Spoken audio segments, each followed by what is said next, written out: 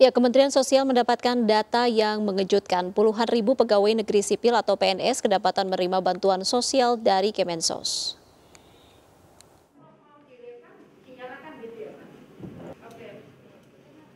Menteri Sosial Tri Risma hari ini membeberkan penemuan yang mencengangkan. Dirinya mendapatkan data bahwa lebih dari 31 ribu PNS yang terdiri dari 28 ribu PNS aktif dan sisanya PNS pensiunan menikmati bantuan sosial dari Kemensos. PNS yang menerima bantuan tersebar di 514 kabupaten kota di 34 provinsi di Indonesia. Mereka berprofesi sebagai dosen, PNS, hingga tenaga kesehatan. 624 ASN. Yang aktif itu setelah kita cek di data BKN, mungkin yang sisanya itu sudah pensiun, itu 28.965 ASN aktif. Kemudian yang profesi uh, TNI Polri, kita sudah uh, apa namanya surati ke Bapak Panglima, mudah-mudahan nanti uh, kami segera menerima jawabannya. Kemensos juga menemukan terdapat anggota TNI Polri yang menerima bansos Kemensos. Kemensos masih mengkaji data ini dan mencari sanksi yang akan diberikan terhadap para SN yang ketahuan menerima bansos. Dari Jakarta, Tim Liputan Ainis melaporkan. Ya, Kementerian Sosial Kemensos RI menemukan sebanyak 31.624 pegawai negeri sipil atau PNS terindikasi menerima bansos. Setelah dicek ulang, Badan Kepegawaian Negara BKN menemukan ada sebanyak 28.965 PNS yang aktif menerima bansos dan sisanya diperkirakan sudah pensiun. Lalu bagaimana tanggapan masyarakat perihal hal ini? Berikut informasinya. Harusnya sih uh, lebih dulu yang orang kena PHK, orang yang belum kerja atau orang-orang yang membutuhkan di sekitarnya itu lebih lebih afdol lagi sih menurut saya. Uh, lebih perhatian lagi kepada orang-orang yang membutuhkan sih. Ini kurang tepat sasaran lah ya. Uh, justru yang lebih berhak mendapatkan itu justru mereka kesulitan mendapatkan akses bansos ini. Uh, seperti yang kita lihat di kenyataannya kan mereka harus uh, berhimpitan, berdesak-desakan, berebut untuk dapat bansos. Ternyata yang uh, kita lihat juga uh, justru yang PNS ini juga mendapatkan itu karena memang kan sepertinya tidak pas sasaran lah ya.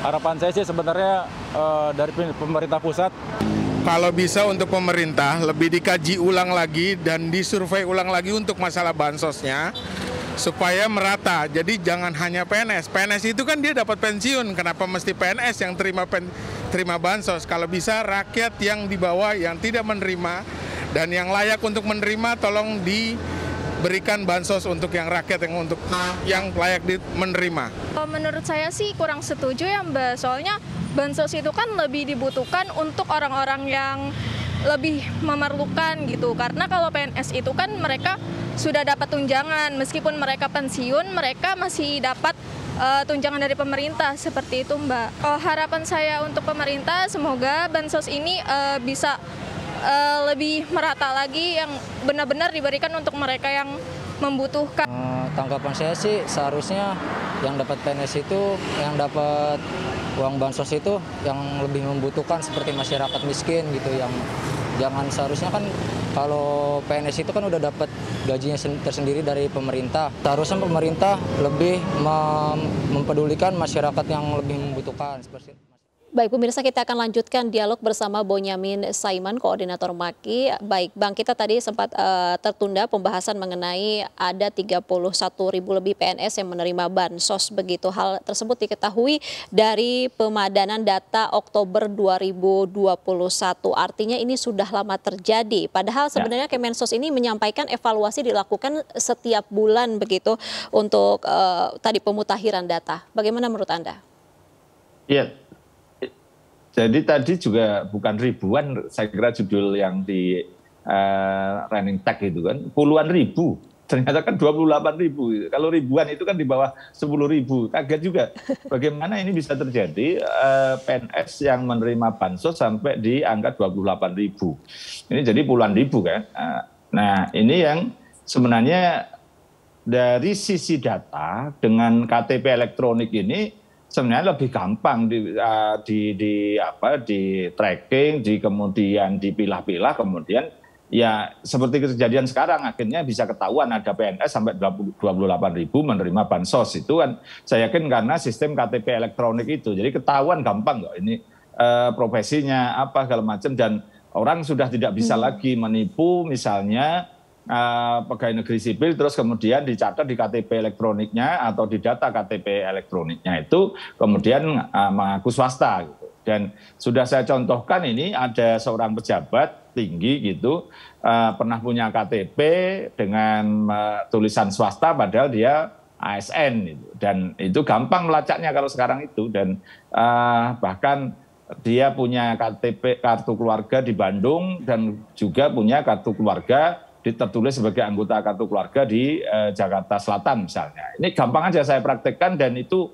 uh, tahun kemarin dan salah satu saya berhasil membongkar kong kalingkong yang melibatkan uh, terkait dulu dengan kasusnya Joko Chandra dan Pinangki dan juga Anita Kolopaking itu kan karena juga uh, kaitannya dengan kependudukan begini gitu. Ketika proses-proses yang uh, istilahnya gampang kok kita me, menelisik, menyisir uh, data kependudukan seseorang itu apakah dia layak atau tidak layak uh, karena dari kacamata sederhana ini bukan soal kaya atau miskin tapi dari PNS atau bukan. Nah ini kalau kita bicara COVID ini sudah hampir dua tahun begitu ya cukup lama juga ini uh, baru ketahuan Oktober 2021. Jadi ini yang sebenarnya bisa dilakukan di awal-awal. Jadi ya, hmm. ya ya tapi apa boleh lah sudah lumayan lah daripada ini tidak ketahuan. Jadi sejak Bu Risma jadi sejak Bu Risma ini jadi menteri, nampaknya kemudian berusaha untuk melakukan proses-proses yang uh, pembenaran pembetulan gitu. Baik, Bang Bonyamin, sedikit mungkin ini sebenarnya bagaimana sih aturan uh, terkait bansos untuk PNS karena sebenarnya dalam peraturan pemerintah ada Perpres juga tidak menyebutkan uh, secara jelas begitu bahwa PNS tidak uh, boleh menerima bansos begitu. Namun uh, bagaimana aturan sebenarnya terkait hal ini? Uh, ada kan, anu sebenarnya dari konteks ini kan tidak usah bicara peraturan undang-undang atau di peraturan pemerintah atau peraturan menteri atau apa pun itu yang namanya bansos itu kan memang diberikan kepada orang yang membutuhkan itu yang pertama hmm. membutuhkan itu otomatis yang miskin lah kategorinya dan negara pasti tidak cukup untuk membiayai seluruh dari uh, rakyatnya ketika mendapatkan pandemi. Kalau cukup pun itu juga tidak mungkin diberikan hmm. semuanya karena PNS sudah menerima gaji bulanan, dapat tunjangan, dan uh, ada istilah yang misalnya buka yang suami atau istri yang PNS kemudian uh, juga pasangannya tidak itu ada tunjangan bagi misalnya saya misalnya gitu. Istri saya PNS ya ada uh, nomenklatur tunjangan untuk suaminya gitu. Jadi saya pun seakan-akan dihitung gitu loh dapat tunjangan gitu, meskipun saya bukan PNS jadi uh, proses seperti itu mestinya si PNS ini uh, tidak pasti dengan sendirinya pasti tahu diri sebenarnya dia tidak layak atau tidak berhak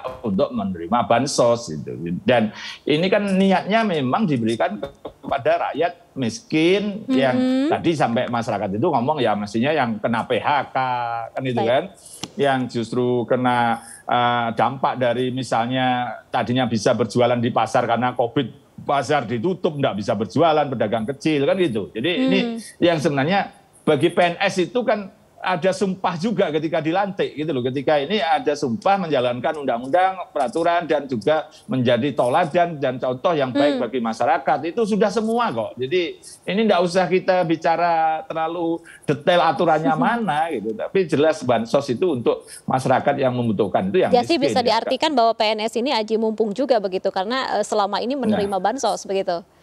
Iya sudah pastilah ketahuan di situ. Tapi peraturan dan, sudah tahu mereka ya terkait dan hal ini. Dan mestinya langsung di setelah menerima pertama kali langsung dia minta untuk dicoret untuk uh, hmm. periode berikutnya setidaknya begitu. Tidak Tapi mekanisme diam -diam untuk pengembaliannya itu apakah mereka sudah mengetahui bagaimana ketika mereka tidak mungkin terdaftar eh terdaftar tapi menolak hmm. itu seperti apa? Apakah sosialisasinya sudah ada dari Kemensos terkait hal ini? Gampang di kampung-kampung anu, beberapa orang yang saya tahu persis mm -hmm. dari famili saya sendiri yang merasa tidak berhak langsung uh, waktu menerima dia langsung minta dicoret gitu yeah. dan yang dia terima itu pun dibagikan kepada tetangganya gitu jadi kan ada petugasnya daftarnya hmm. dan otomatis itu dilaporkan dan terbukti periode berikutnya tidak menerima lagi gitu. hmm. jadi jadi sangat mudah seperti, sebenarnya ya tinggal memang kemauan sendiri begitu ya sangat Baik. mudah saya Baik. tahu persis Bang, caranya itu satu lagi ya. pertanyaan terakhir apa masukan untuk Kemensos terkaitan hari ini karena TNI Polri juga diduga ini menerima juga gitu dana bansos bagaimana apakah harus ada koordinasi antara antara instansi terkait hal ini?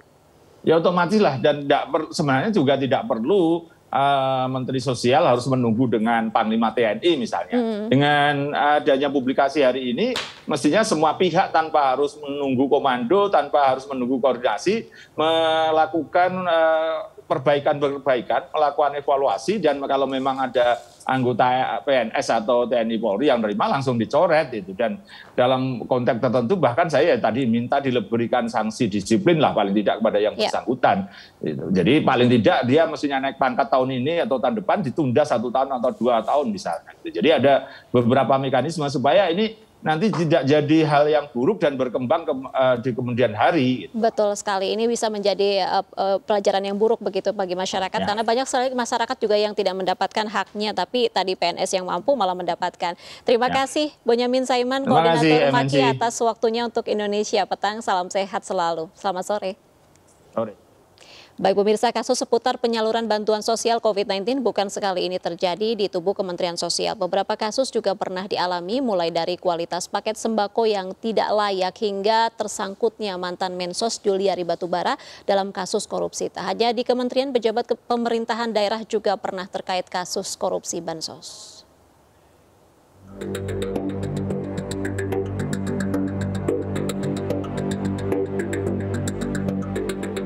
Tahun lalu, masyarakat anti korupsi Indonesia mendatangi kantor KPK dengan membawa paket bantuan sosial COVID-19 dari Kementerian Sosial. Maki menilai ada penurunan kualitas sembako dalam paket yang diserahkan ke masyarakat. Nilai paket bansos yang diterima warga dinilai Maki lebih murah dari anggaran Rp300.000 per paketnya. Maki menduga ada permainan vendor pemegang proyek bansos membuat subkontraktor membeli sembako dengan harga dan kualitas yang lebih rendah.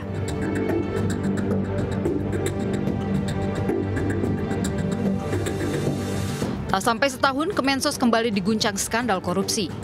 Mantan Menteri Sosial Juliari Batubara dinyatakan bersalah menerima suap dalam perkara pengadaan bansos COVID-19 tahun 2020 senilai 5,9 triliun rupiah. Juliari difonis 12 tahun penjara dan denda 500 juta rupiah. Majelis Hakim menilai Juliari telah menikmati uang sebesar 15,1 miliar rupiah. Selain itu, Juliari juga diminta membayar uang pengganti 14,5 miliar rupiah, serta dicabut hak politiknya selama empat tahun usai selesai menjalani pidana pokok.